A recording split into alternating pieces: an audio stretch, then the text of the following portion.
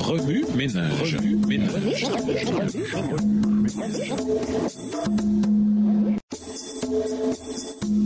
Remue ménage. Remue ménage. Bienvenue dans votre émission.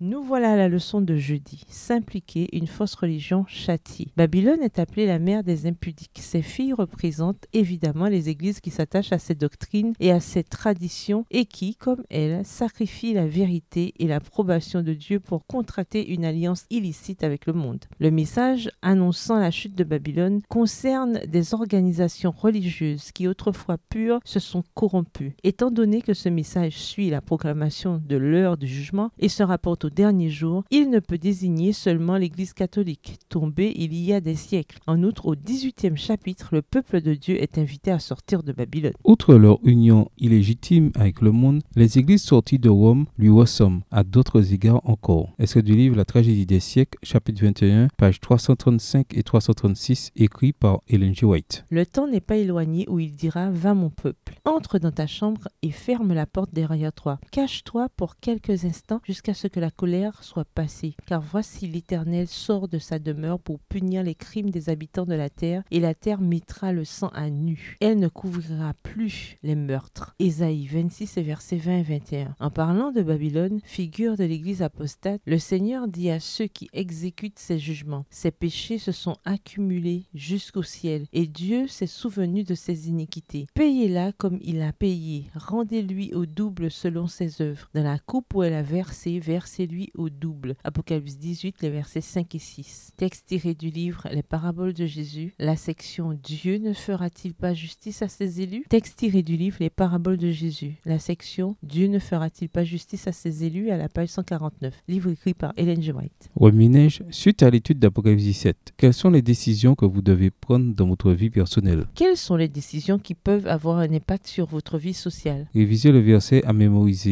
En quoi s'applique-t-il à votre vie cette semaine? Au revoir. Et à demain si Dieu veut. Remue ménage. Remue ménage.